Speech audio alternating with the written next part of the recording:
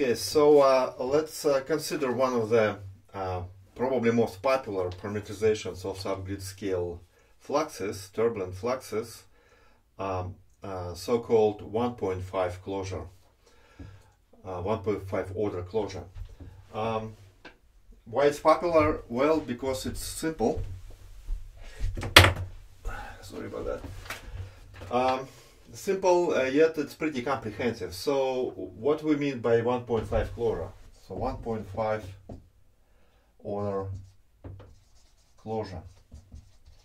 It is closure which is based on uh, only one second moment, particular one, which is uh, um, give, gives rises uh, give rises to uh, turbulent kinetic energy.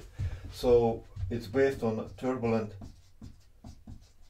or subgrid scale turbulent kinetic energy.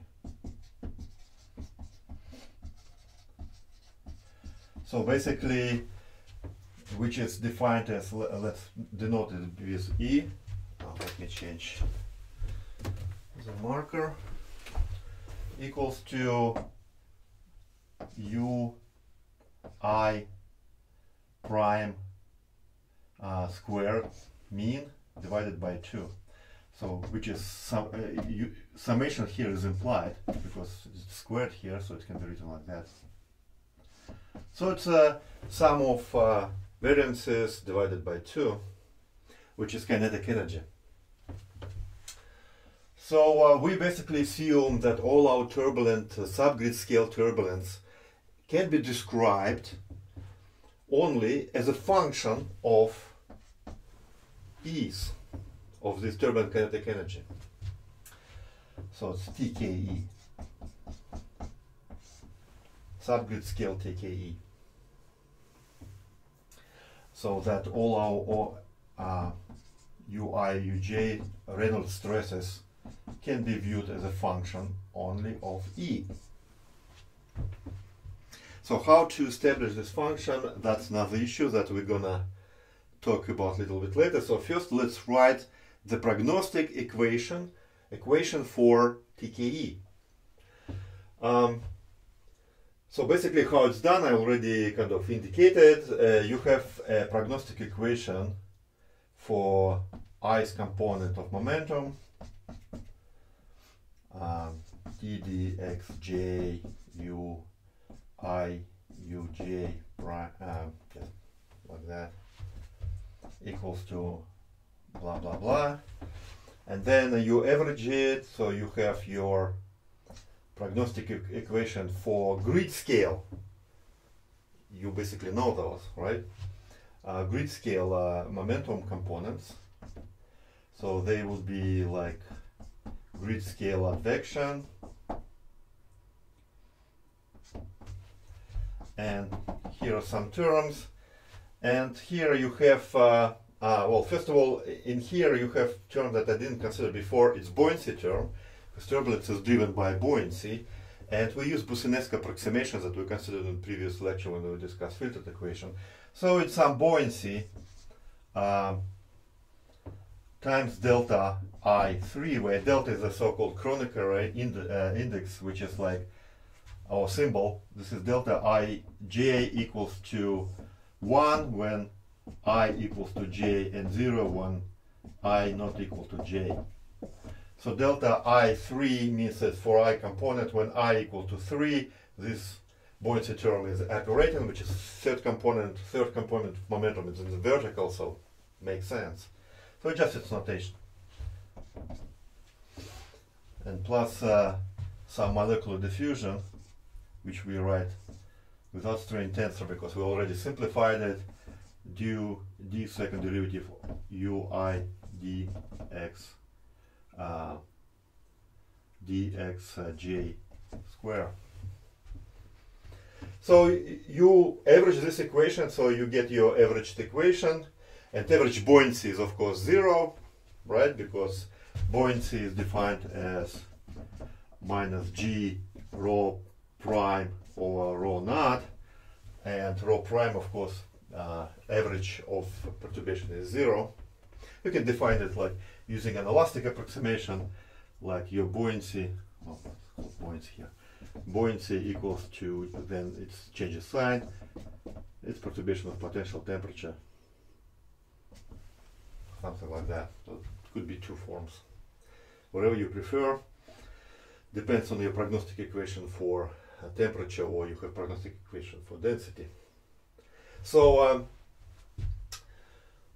and, and, then you subtract one from the other, so you have prognostic equation for I perturbation, not averaged. And then you multiply it by UI by perturbation, and then you average it.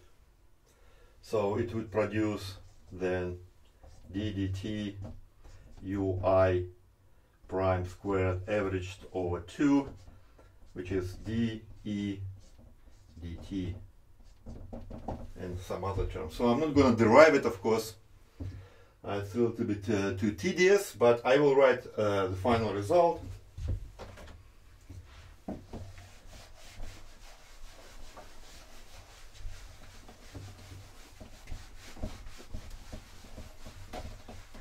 So the final result, so-called prognostic equation for TT would be looking like that.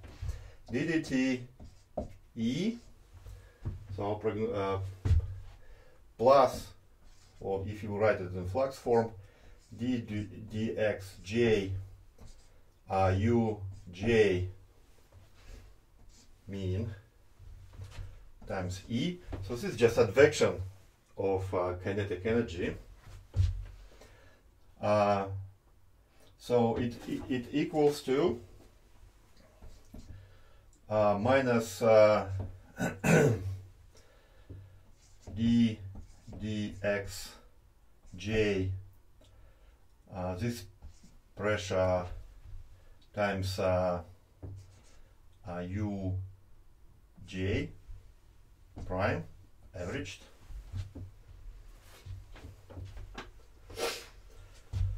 minus uh, d dx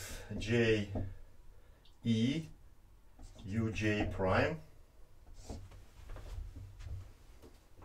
So this is triple moment that I was talking about, right? Because E is uh, um, expression like this. So times EJ and then you uh, average it, then it's it, it's like triple moment. and uh, then minus uh, minus uh, d u uh, i average d x j u i u j prime prime Reynolds stresses times this uh, gradient of mean velocity uh, plus uh, diffusion, molecular diffusion of E, which we uh, tend to ignore, of course, because well, this term is small, but we cannot ignore it when we actually talk about uh, um, dissipation. And the reason for that is that if you uh, consider this uh, molecular diffusion term of velocity component u prime, so you have second derivative du i prime dx uh, j squared and then you multiply it when you multiply it by u i prime. Then uh, then if you actually do this math and use continuity equation so you have d dxj and you put this ui inside of this guy dui prime dxj so you cannot just put it inside. You need to actually subtract something right? So you subtract this guy. So d dxj prime. Uh, and times this guy. So new. Dui prime. Dxj.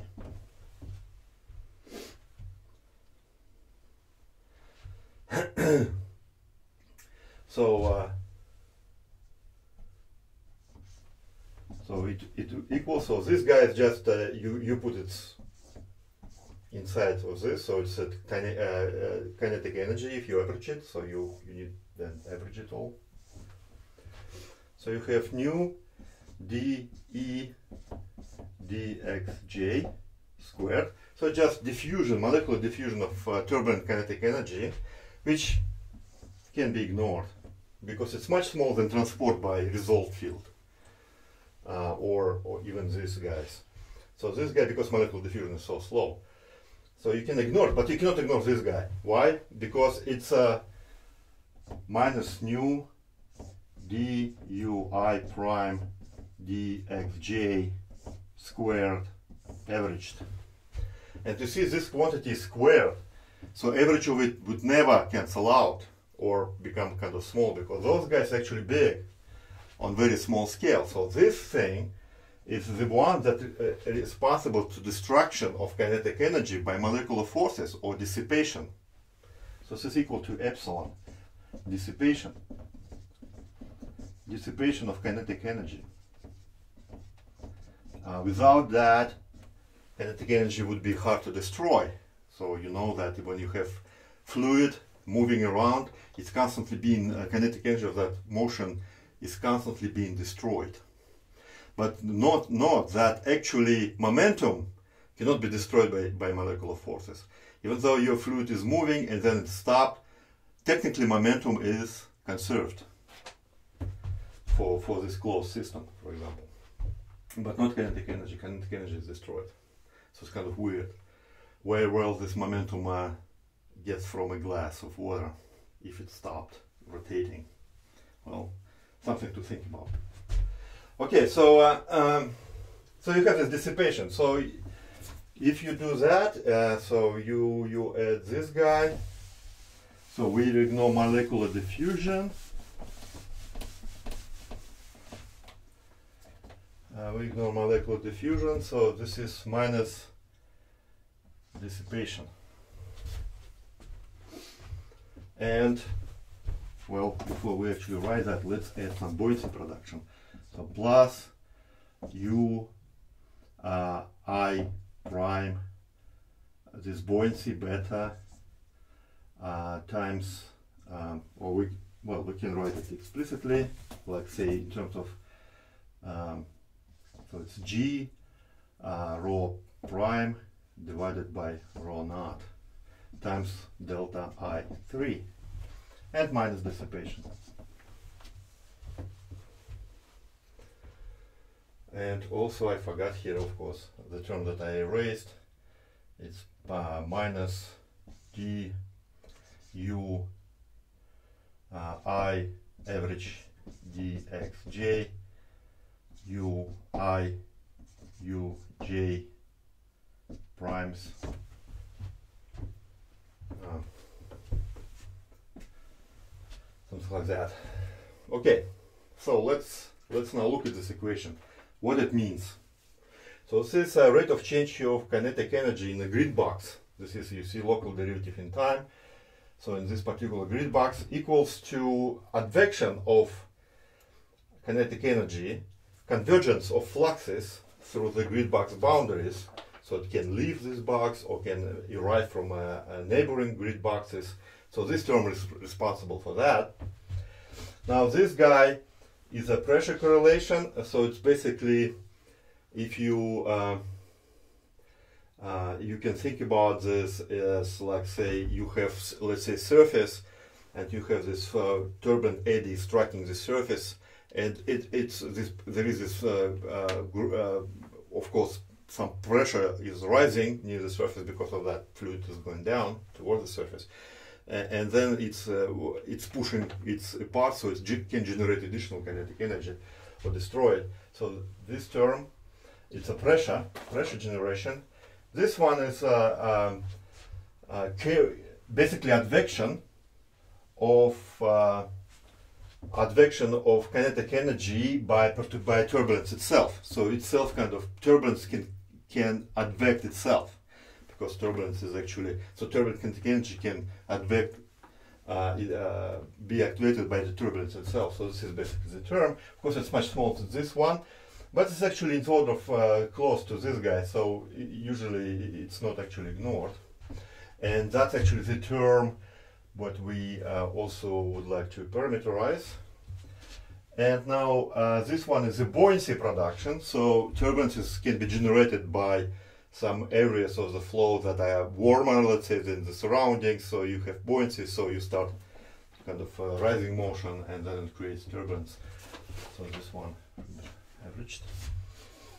And this guy is dissipation, I mentioned that. So turbulence can be destroyed by uh, dissipation of kinetic energy. And uh, this guy is interesting guy. This one is the shear production. So this is production term. So this is production by shear. This is production or destruction by buoyancy, depending on the sign of your buoyancy. Production of uh, by buoyancy.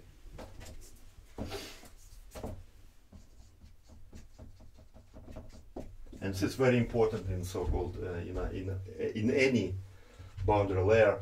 In a convective boundary layer, this term is usually the, is positive. You have positive buoyancy, net uh, kind of uh, correlation between say vertical velocity and buoyancy. So you you tend to generate turbulence.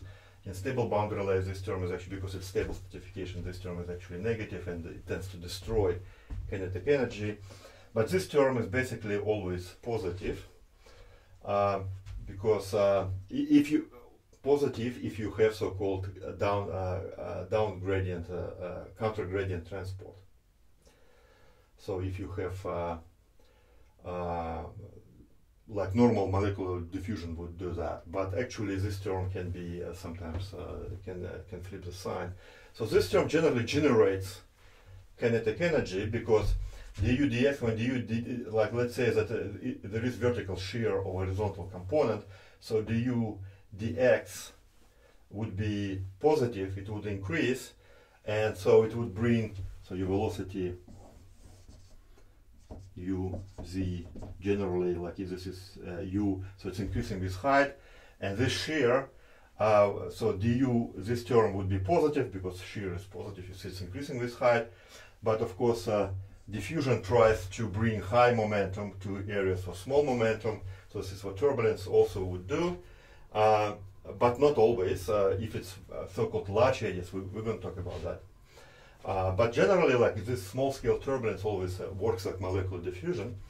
So this guy would put in ne negatives, then it would flip the sign. So you see this term tends to increase turbulent kinetic energy. So now, so this is the equation that we can actually uh, add to our set of prognostic equations. Now, um, uh, how we now, so what we're looking for is these fluxes as some functional form as function of E of kinetic energy because we assume that everything is determined by level of of turbulence in uh, which is characterized by turbulent kinetic energy uh, which is not necessarily entirely correct assumption, right? You you could feel it. It's why it's only all this behavior for this this complex system could be function of just one uh, scalar quantity, which is uh, turbulent kinetic energy. But in in one case, it's actually true, and that's what we're going to talk about next. But generally, so we look at this, and also we're looking for for we need to close these fluxes too. So we need to close buoyancy fluxes.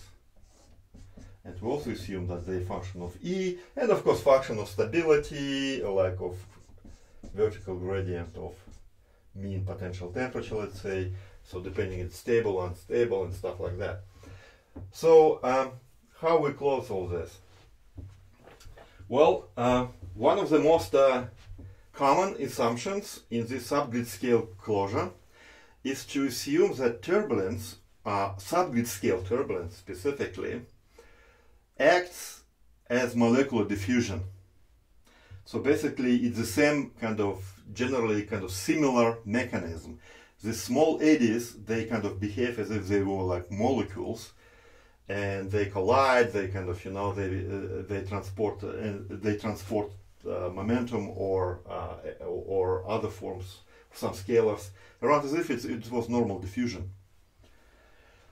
And using its so-called uh, um, assumption, which is so we basically assume that our Reynolds stresses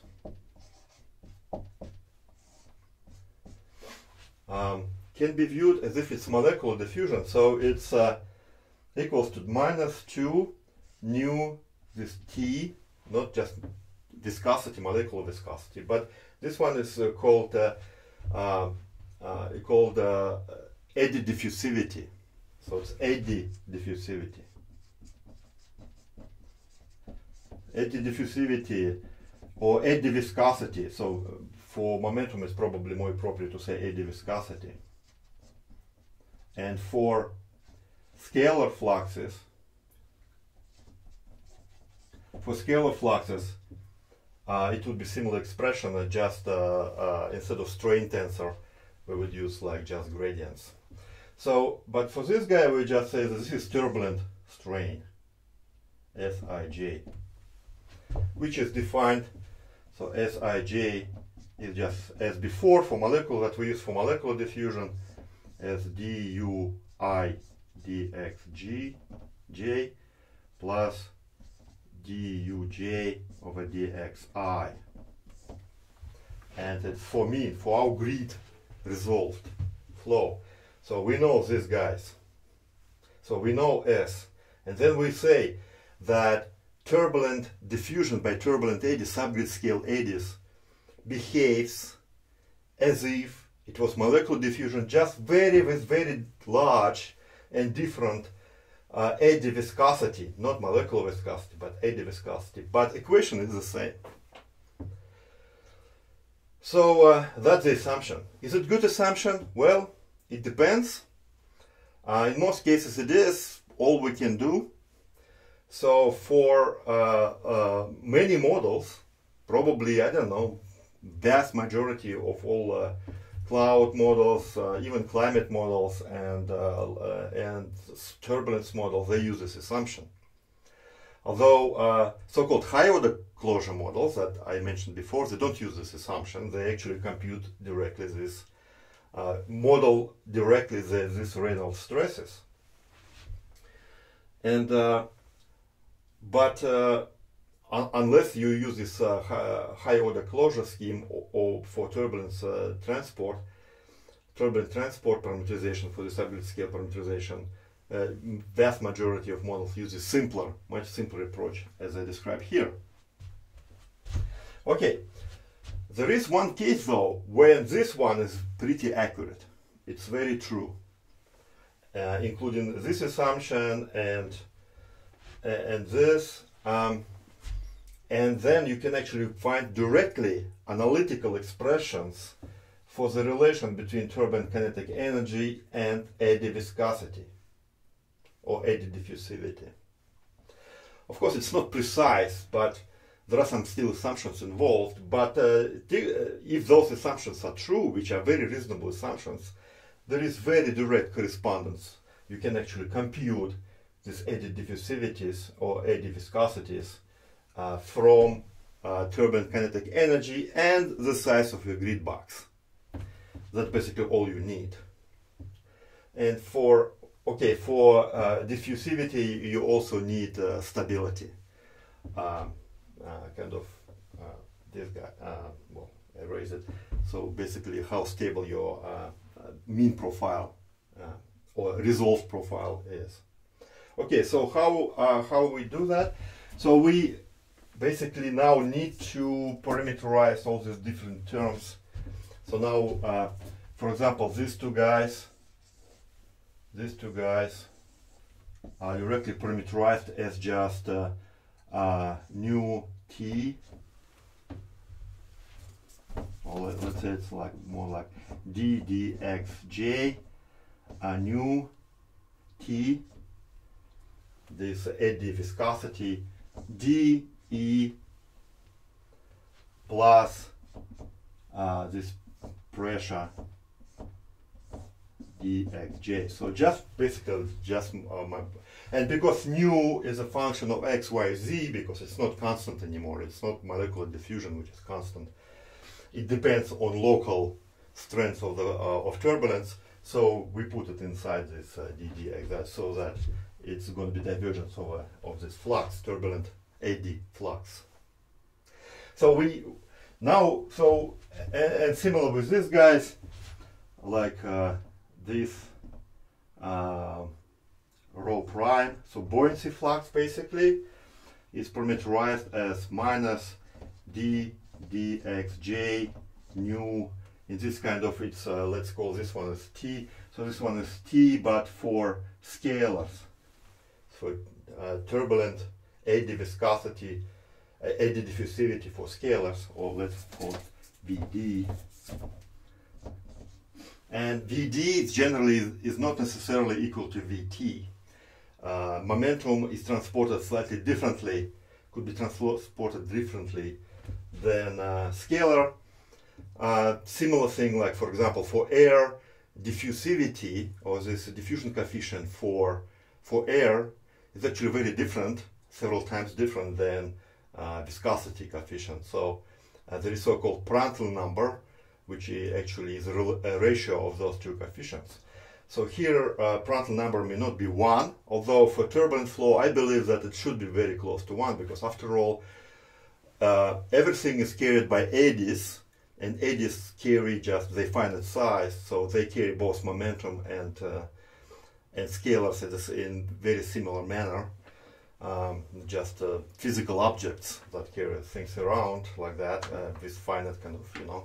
So uh, I don't believe why they should be so much different, um, uh, unlike uh, molecular molecular diffusion and viscosity processes.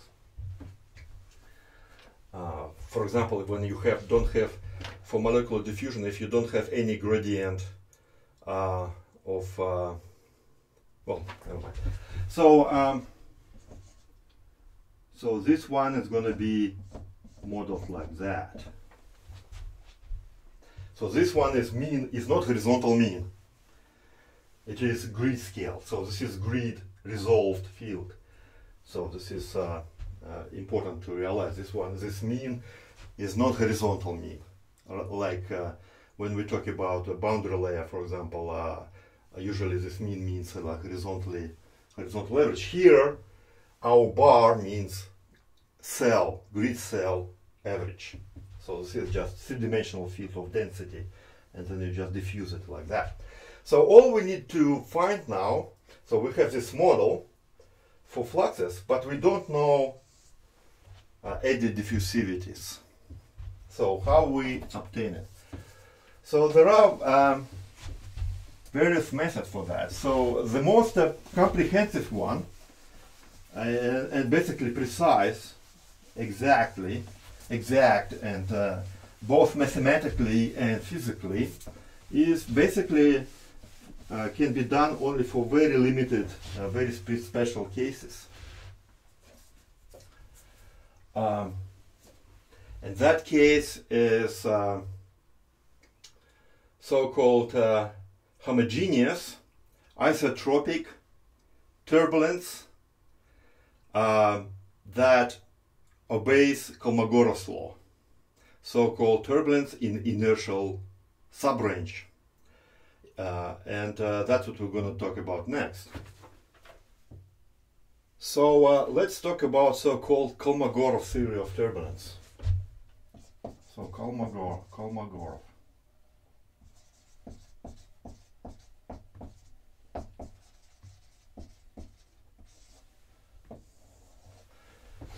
Basically, if you um, look at the turbulent kinetic energy spectrum, so it's basically distribution of kinetic energy by size.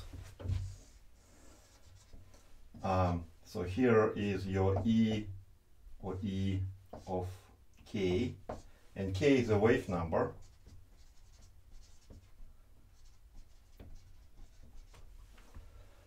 So, um, so that total kinetic energy equals to just integral from 0 to infinity of E of k dk. So just uh, Ek is a spectrum. So it could be, it could look something like that. So here you have uh, large eddies. So K is small means that wavelength is large. So those are contribution of large eddies, large turbulent swirl, swirls. So they can be generated by buoyancy, by say big parcels rising from the surface, heated by the surface. So it can be shear, like large squall line is going on, or clouds generating this uh, turbulence. So, and um, so uh, there is this maximum. So this is large eddies. And these eddies are basically generate kinetic energy to begin with.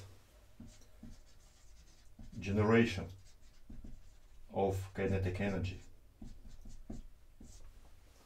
And then there is a small scales where turbulence uh, is getting dissipated by molecular forces. So those areas are very tiny. So for air, at air, uh, at air densities and, and, typical kind of dissipation rates, this scale when uh, you cannot ignore these molecular forces. So for these eddies you can completely ignore them because they're too large for molecular diffusion. But for these scales you cannot ignore them and so that scale when uh, molecular viscosity becomes important uh, is called Kolmogorov scale and this Kolmogorov scale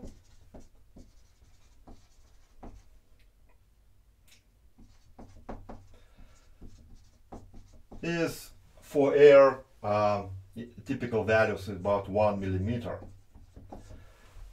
Or let's say it's one inch like for for uh, just to make sure. So on the scale for about one inch large eddies so this tiny molecular forces are become dominating. This, I mean molecular viscosity forces become uh, dominating so but there is this kind of range in between of them of those two regimes of large eddies and this Kolmogorov scale. And uh, where diffusion is still, I mean, uh, molecular viscosity is still not important, but those eddies don't really generate anything. All they do is basically transport eddies, uh, transport energy from these uh, generation scales, large scales, to this dissipation scale. So here there is dissipation. And all, th these eddies again don't do anything else. They just basically you have this uh, some eddy, and you know turbulence tends to create smaller eddies, and then smaller eddies create even smaller eddies. Like you know that like if you have like puff of smoke, you see that it starts kind of generating smaller and smaller kind of eddies. And uh, so there is this sub range somewhere here where all edges do, they just basically keep dividing, creating smaller and smaller eddies, and they transport energy just by inertia. They don't generate new kinetic energy, they don't destroy kinetic energy. All they do just by inertia generate a kind of bioavailable kinetic energy, they generate these uh, eddies. So they basically distribute this uh, kinetic energy among many eddies here. So this range, that's why it's called inertial inertial subrange.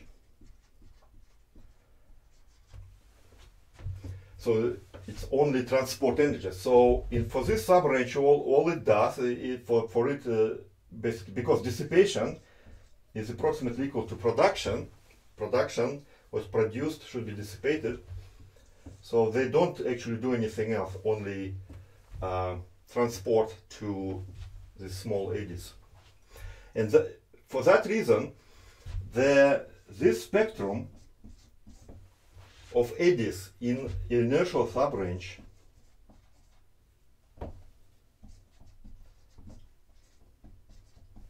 subrange should depend only on what? On dissipation rate, because dissipation equal to production. So that's how much energy is actually produced and, and being transported. And, uh, uh, and also obviously on K, on the wave number, because just spectrum depends on K. And there is nothing else. There is no really other parameters you can think of. there could be some stability effect, but we assume that in our inertial subrange, stability effects are small. So, uh, uh, although in very stable boundary layer, it means that this inertial subrange can be very small because buoyancy forces can be felt. But buoyancy for forces can be felt only over some distance because you need to travel vertically some distance before you start uh, feeling this temperature effect on, on, on your acceleration. So, but typically we, we just assume for this case when we, let's say, have uh, incompressible incompressible fluid and no buoyancy effect, then this is definitely true. There are no other parameters. And there are dimensions of epsilon, which is just destruction of energy. So it's d e d t units. So you, you know this unit, so it should be meters square per second square. This is kinetic energy divided by second, so it's units of epsilon should be like that. And units of k just inverse length. It's like units are 2 pi divided by wavelength. So it's uh, meters minus 1. So in order for, so there is only one functional dependence um, is E of k should be equal some coefficient, non-dimensional coefficient, um, uh, times epsilon in the power of uh, in the power two thirds k minus 5 3. This is a famous Kolmogorov's uh, 5 thirds minus 5 thirds power law.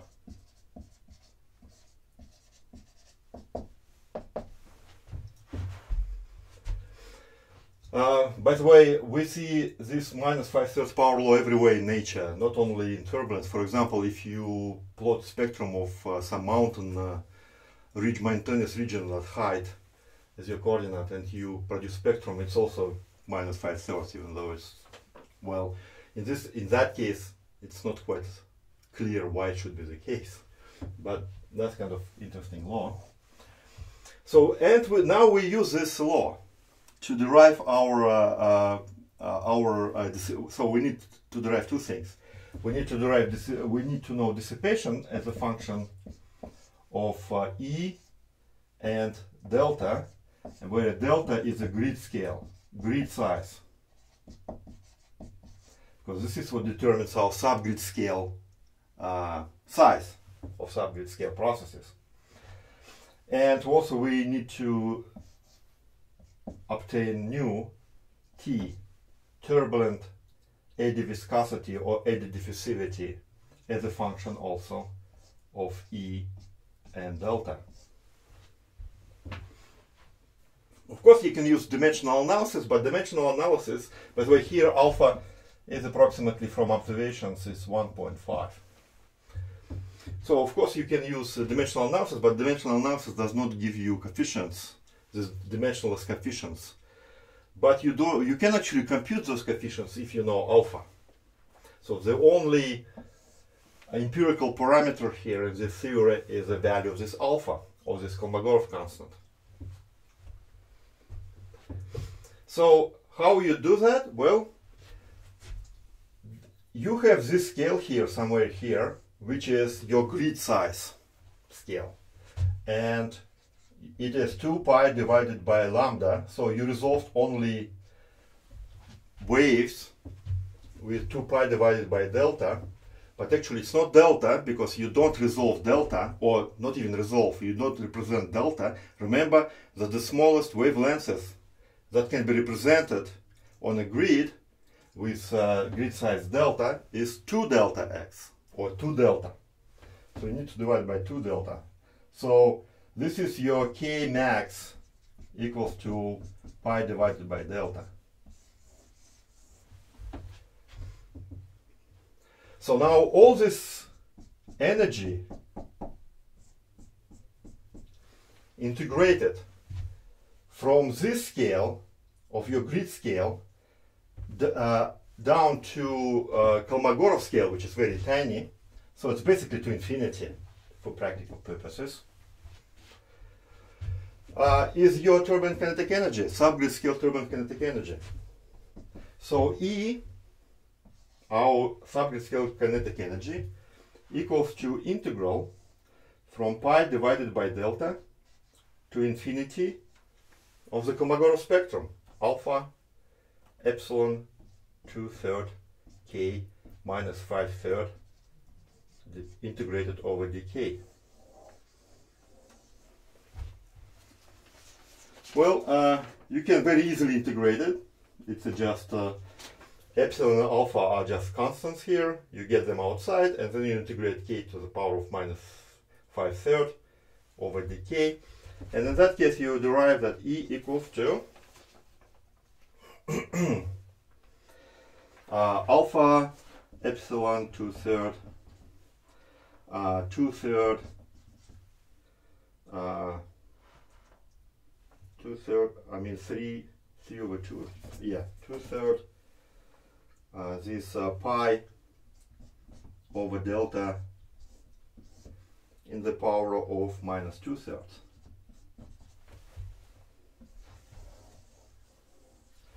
So see now, if you know dissipation, uh, you know, and you know delta, you know subgrid scale kinetic energy. And vice versa, if you know subgrid kinetic energy and delta, and we know subgrid kinetic energy, presumably because we use prognostic equation for, for E that we, I wrote before, turbulent kinetic energy equation. So if you know E, which itself requires, of course, uh, these guys, epsilon and nu. So we, we, we, but we have equation for epsilon, for E, and, and now if we know E, we can substitute uh, to find uh, epsilon or dissipation rate.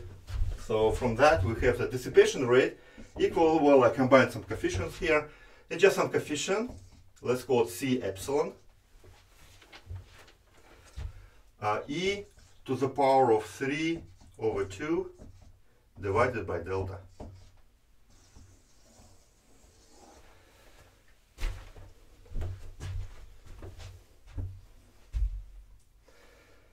So you see we have expression uh, for dissipation rate as a function of things that we know from our uh, grid information, which is uh, kinetic energy on the previous time step, let's say, the turbulent kinetic energy on the previous time step, and delta, delta which is based on your, our grid size. Now, um, if grid is isotropic or the same in all directions, then you just use delta x there, or delta y or delta z.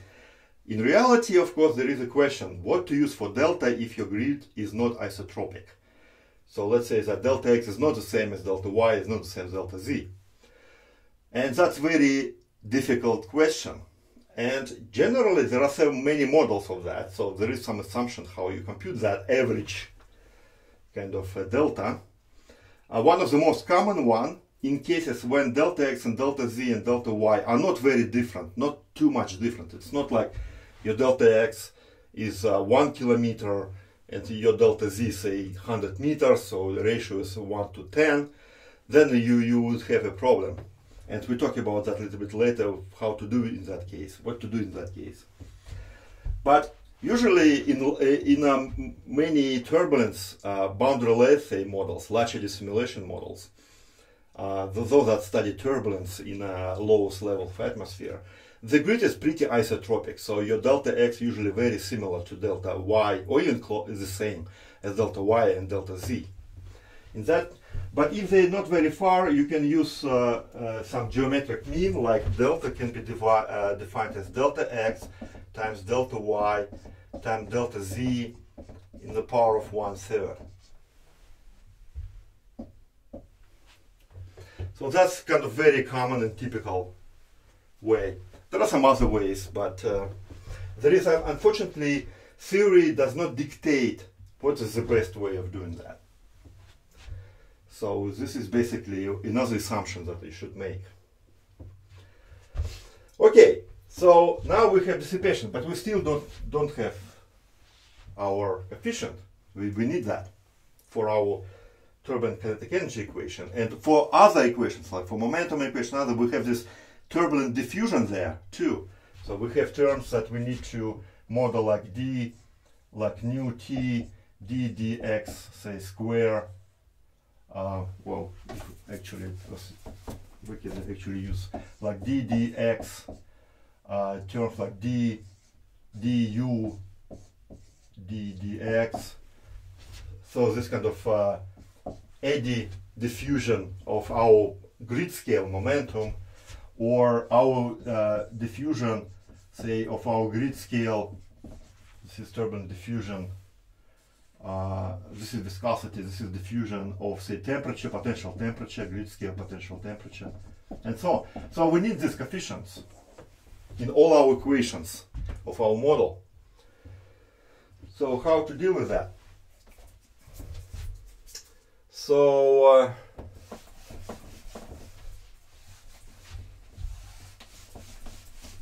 we actually continue using this Kolmogorov theory for that.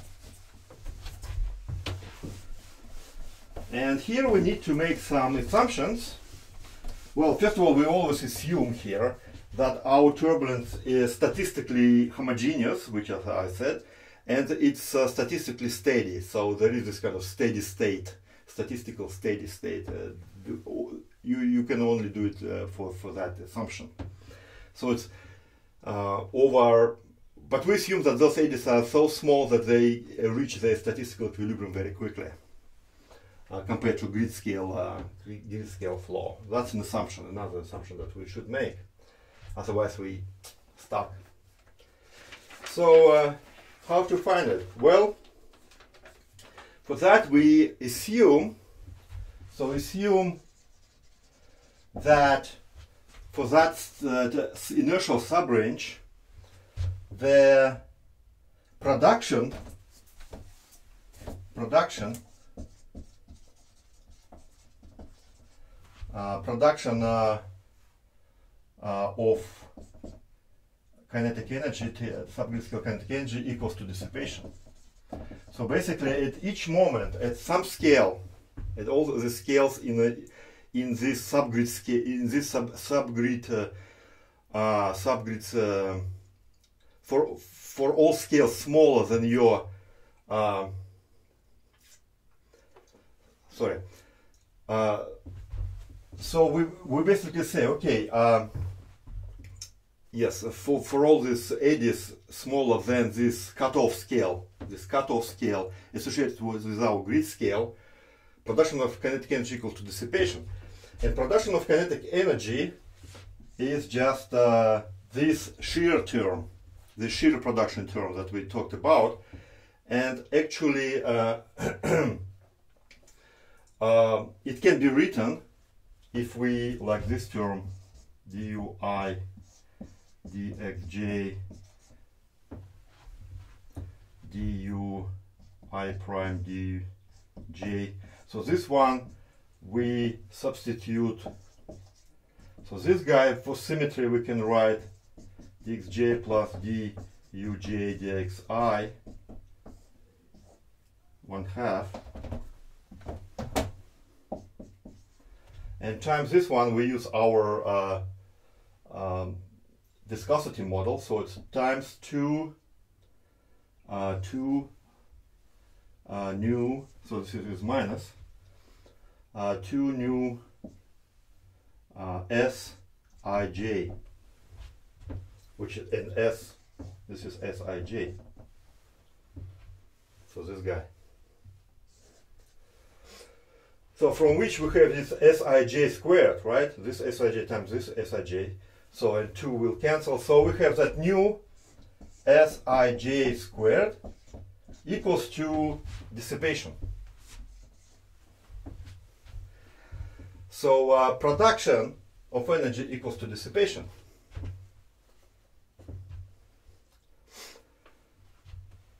And this production is uh, uh, everywhere uh, at uh, uh, production for scales which are actually larger than our cutoff scale. I probably said it reverse previously. So it's we assume that all our turbulence is inertial subrange. we don't consider this large eddies. We say that everywhere it's inertial subrange except for this small dissipation scale. In that case, we can actually integrate. So we basically say that for our turbulence, it all looks like that. So this is E of k, this is k, and only here, uh, so this is our cutoff scale, pi divided by delta. This is cutoff scale. So all this energy is product produced here for this, for our kind of subgrid scale energy. So, and all this energy should be ultimately dissipated in this small scale. So this is basically what it says.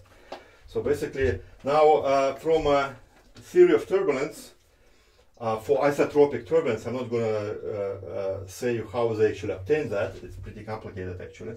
But it, it's, it's been shown that this guy equals to integral from 0, from this largest inertial subrange eddies, to uh, our cutoff scale of pi over delta of this e of k times k square times dk, uh, dk. So this is the integral for, for this Sij. Um, don't ask me how you uh, how how why why it's so. Um, uh, it's it's complicated, uh, but this is uh, it, it, it's a little bit mathematically tedious. But this is what you can actually say. And from that you now can again integrate because you know your ek. Well, we'll write small here. ek. You know it. It's a Kolmogorov spectrum. So you substitute it and you integrate it, and from that you get some expression like uh, like 3 alpha divided by 4 epsilon power of 2 third pi over delta the power of 4 over 3. So now you have epsilon here and it equals to epsilon times nu. From which you now have uh, nu t. So now you have this equation. And you have also equation that relates epsilon to E and delta that I wrote before. So epsilon equals to C epsilon uh, e to the power of 3 over 2 divided by delta. So if you substitute that and do some algebra, you will arrive to just general expression as nu t equals to some coefficient ck, which is can be computed from all these pi's, all these alphas and stuff like that. ck uh, delta e to the power of one half. This is very convenient. Now, if we know E at the previous time step, we know delta, we can compute our eddy diffusivity or eddy viscosity here. And eddy diffusivity, that's another matter. It's generally modeled as some Prandtl number, turbulent Prandtl number times nu uh, t. And how to compute Prandtl number, it's also there is some ad hoc, relatively ad hoc assumptions. I would uh, prefer using just one for Prandtl number, but um, uh, there are some other models that may, may disagree, but I'm not going to cover that. And they also can be, uh, uh, they usually thought as a function of stability. So for, say, very turbulent regime when it's unstable stratification, like kind of convective boundary layer, Prandtl indeed is very close to maybe to 1, but for uh, stable case, it could be actually, it could deviate from that. So, and, and that's basically it. We close our system. So now we have enough equations to simulate uh, turbulence, say, in boundary layer. So, uh, um, so this approach is very heavily used, so-called 1.5 order closure is very heavily used in so-called large eddy simulation models.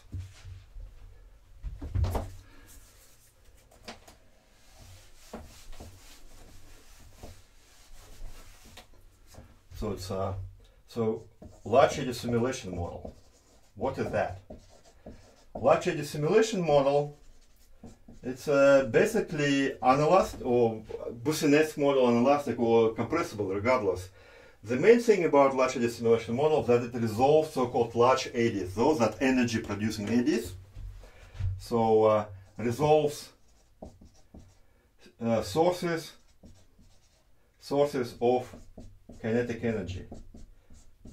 And sinks of kinetic energy is handled by dissipation. That's what sink, sinks it. So it resolves sources, so it should, uh, but at the same time, it uh, and its delta is within within inertial subrange. So you can use this Kolmogorov theory for to close your system. So this is basically that's basically it about large eddy simulation. That's why it's called large eddy. You resolve large eddies, those that generate kinetic energy. And uh, you put your delta, your resolution is relatively small so that it's guaranteed to be within the inertial subrange. And the inertial subrange of course depends on many things, but typically for boundary layer, like marine boundary layer, for atmospheric boundary layer, in a convective case, uh, good resolution in the order is like 100 meters. So let's say it's from 10 to 100. So delta is from 10 to 100 meters. For a very stable case, it can be actually centimeters or, or less than meter. So uh, that would be pretty, uh, pretty difficult case. But typically we use it, uh, if you use this resolution, uh, this approach is called uh, large eddy simulation. So you basically resolve main large eddies that generate kinetic energy. And you basically parameterize all small eddies that all they do is dissipate your kinetic energy using this Kolmogorov theory and this kind of expressions and 1.5 order closure. Uh, however, uh, there is some simplification for this 1.5 order closure. Uh, you still uh, have this uh, equation to solve, so you need to carry all this kinetic energy around, and, and it's just one field. It's not probably very expensive, but uh, there is further simplification um, that doesn't involve solving 1.5 order uh, kinetic energy equation. So you basically throw it away, assuming that there is equilibrium between production, exact equilibrium between production of kinetic energy and dissipation. So basically you say that uh, that your uh, shear production, shear production plus buoyancy productions equals to dissipation, exactly. And you have this shear term there, like I wrote before, it's basically this guy. And uh, buoyancy production, which is just also I wrote this uh, correlation between uh, density perturbations and uh, vertical velocity, and equals to epsilon. And uh, uh, if you do that, you will arrive to the following expression.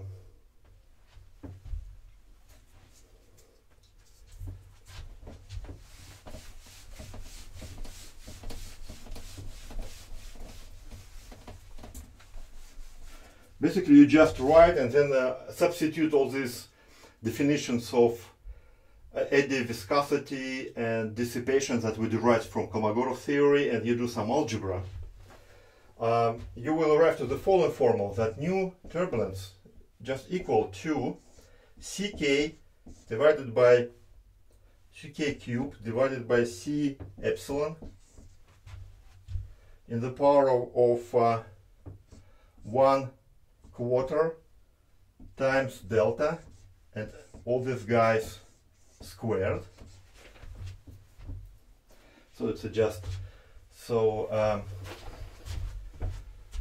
and times uh, Sij squared, and we know how to compute Sij, right?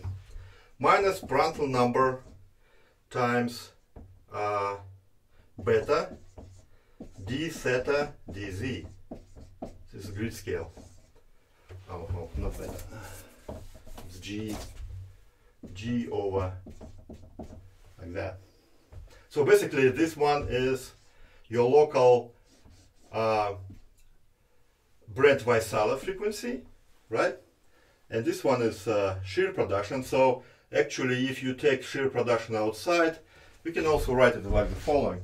So let's uh, call this guy C, uh, CS. It's so-called Smagorinsky constant.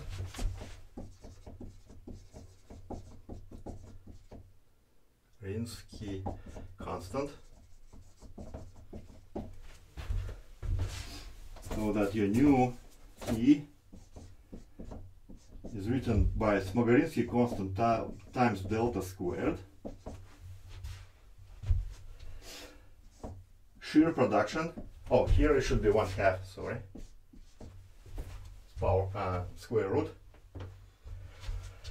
Shear production, so times 1 minus Prandtl times n buoyancy, this is square, Brunt-Väisälä frequency squared, divided by Sij.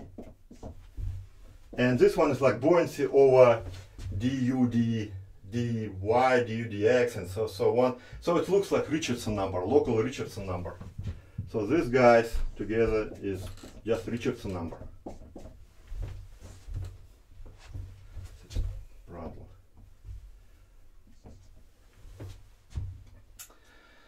So basically, and then from that, actually, you say that for uh, there is some uh, for some Richardson number, it's actually this term can become negative, and then you have basically no turbulence. So it's like this critical uh, Richardson number for stable stratification when n, n is actually uh, n, n b squared is positive. So this formula is called Smagorinsky formula. And this parameterization is called Smagorinsky parameterization. So this is Smagorinsky formula. And it's uh, why it's called Smagorinsky because this guy Smagorinsky was very famous modeler in our field. Uh, he actually uh, dealt with a lot of climate modeling, uh, early climate models back in 50s, 60s, 70s. Um, he's not alive now, of course, uh, but uh, he actually first came up with this kind of formal, completely basically ad hoc uh, basically using dimensional analysis or something, dimensional arguments. And he came up with similar formula. Um, and now this CS is actually from Kolmogorov theory, from this spectrum, is equal to 0.19. And this is correct constant to use. As a, you, you, can find it actually in some models. I looked at it WRF, or not in WRF, in it's some other model. It's actually 0.25, which I think too too big. It actually would produce too much uh, too much smoothing of solution at small scales. But probably it's deliberately done. So, but uh, uh, in, uh, generally, you, you can usually people also little pick this number because you have also implicit dissipation. Remember by numerical scheme itself that you use. So you need probably some smaller actually Smagorinsky constant in your model because you also have some numerical dissipation that already implicitly going on in your model. So probably you need to reduce it a little bit to obtain correct spectrum. Like I tested in my model in SAM, uh, this kind of condition when you have only just basically uh, very developed turbulence between two plates. Uh, and then I looked at the spectrum. I found that uh, in my model, I can actually get uh, minus five thirds law if I have Smagorinsky constant of 0.15 because in my model there is some numerical dissipation associated with certain numerical methods that the model uses. But this is kind of normal magnitude. This, is, this formula is very widely used. It's called Smagorinsky formula. So sometimes you can hear in lectures, uh, in the presentations that our model for subgrid scale fluxes used Smagorinsky uh, formula. Or it's called first order closure because there is no really 0.5, there is no kinetic energy here there is no kinetic energy is required. All you need to do is a strain tensor amplitude and, and uh, uh Brunt-Väisälä frequency, so local stability. Um, so um, so that's basically um, so for these large simulation models, you can also use this Smagorinsky formula. It produces still pretty accurate uh, accurate results, although it would highly recommended for large approach use if you're really interested in small scale turbulence in boundary layer to use a, a prognostic uh, turbulent kinetic energy approach. It kind of produces more realistic, uh, slightly more realistic looking results. Also, this formula is very widely used in cloud models. Uh, even though in cloud models resolution is uh, 1000 uh, meters, and in that case, uh, uh, it's of course not inertial subrange of turbulence. But people still use it anyway by maybe just modifying this Smagorinsky constant a little bit. Um, because, well, there is nothing else. So most uh, uh, large uh, regional models, models of, of clouds, they use uh, uh, model, most of them.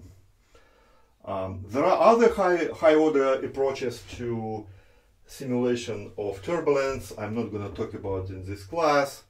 They are a little bit too complicated, like those that based on so-called uh, prescribed uh, distribution of turbulence, like you can uh, come up with some kind of like some uh, log normal distributions of your perturbations or double Gaussian distributions and so on. And then you can actually close the system because you can directly compute your moments and relate one moment to another moment. And I'm not going to talk about those. They, they kind of, I, I don't know, they, uh, they littered with ad hoc assumptions. Some of them can produce pretty realistic looking results. Some of them don't. And then those who produce realistic results in one cases completely fail in some other cases. So it's very interesting area. Uh, it's probably a good thing to come up with your own scheme as your PhD dissertation, uh, but uh, it's very complicated and um, uh, it's it's a subject uh, of active research still. So I like this uh, method based on uh, Kolmogorov spectrum because it's so clear and complete, completely mathematically tractable. It's simple uh, you assume that your turbulence is uniform everywhere. That's why you can come up with this one-dimensional spectrum of turbulence that describe the whole thing. Uh, and you can integrate everything and produce this nice looking formulas that are actually easy to code and use in your model. So I, I like this one. So there are these large simulation models and cloud resolving models also use Smagorinsky formula. And also, uh, and now I, I, I mentioned one type of models before, which is called DNS models. So this one is LES model, large simulation, LES, and there are second type of models which is called DNS or direct, direct numerical simulation, and those are just delta. Delta is in the in the order of millimeters. So obviously these models are usually highly theoretical in our field.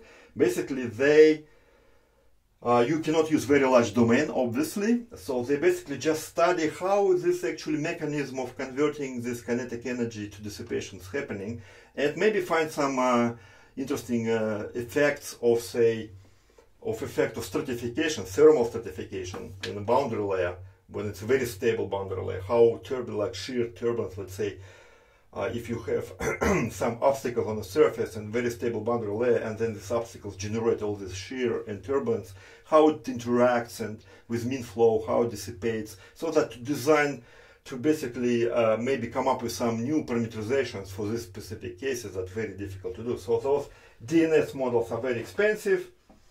Um, and what they do with this resolution, they just don't use subgrid scale closure at all what they do, they solve uh, actual uh, molecular diffusion process. So they have terms, actual process like du dx squared with this nu is actual molecular diffusion. So they don't need this closure, subgrid scale closure, because they use very high resolution. But they obviously domain cannot be bigger than maybe a couple meters at best. Uh, because just computers won't handle bigger domains. So it's very kind of uh, specialized theoretical kind of uh, uh, simulation. So there are DNS models. used for theoretical studies of turbulence, and then large eddy simulation models that are very practical. It's used for all sort of, uh, say, studying stratocumulus clouds, behavior stratocumulus clouds, uh, turbulence in a, atmospheric boundary layer, or turbulence in an upper mixed layer of ocean, like how say wind generates turbulence in the upper layers of ocean. Also, large eddy simulation models very useful for that, and also uh, Smagorinsky type closures, uh, closure like this used in the cloud resolving models. So those models that in the order of uh, grid spacing, in the horizontal grid spacing in the order of one kilometer, um, they also uh, used there. And sometimes in, even in climate models they use similar kind of expressions, which is kind of weird. But if it works, uh, if you cannot do anything else, why not? So um, um, one, one kind of uh, final comment is uh, what, what do you do if your grid is highly uh, anisotropic? So it means that so your delta x is much, much bigger than delta z. This is subject that really difficult to approach theoretically. Uh, generally, um, basically what people do and what I do, you basically separate two turbulence regimes from one, one another. So you say that there is horizontal turbulence, which is controlled by, by this guy, but in horizontal directions only, and there is no this guy, no buoyancy. So your horizontal turbulence AD is, is, is computed like this, and then there is vertical turbulence, which is actually involved this uh, uh, uh, this uh, uh, strain tensor, but only computed in a vertical direction. So there are only DZ terms, for example. And oh, you can use DDX terms, but they are small anyway because delta x is very large. So DDZ, and then you include your buoyancy terms, terms buoyancy kind of correction. So basically, you have two separate set of coefficients for eddy diffusivity or eddy viscosity. Uh, one set is for horizontal turbulence, so kind of this uh, horizontal turbulence, and and the other set is for vertical turbulence. Why you cannot mix them in one coefficient? Because if you compute this delta using this normal definition of uh, that used in LES models, then imagine now delta x is like one kilometer and delta z is 100 meters. So it would create in your uh, model very large delta, which can be way outside of your inertial subrange assumptions and will produce way too large eddy diffusivity coefficients in the vertical, let's say, that would make your model, especially if you use some uh, uh, relatively uh, low stability schemes, would require very tiny time steps and will distort your solution, will make it too diffusive in the vertical. So that's why it's nice to separate those two things, and that's what most models do. They just separate horizontal turbulence. If you have cloud resolving model, uh, so not large eddy simulation, in large eddy simulation you just use go ahead in this one but for uh, because in large eddy simulation model delta x is very similar to delta z but in cloud resolving models your delta x can be one kilometer and delta z 100 meters so you can't use this formula so instead you use just two separate treatments for horizontal turbulence and for vertical turbulence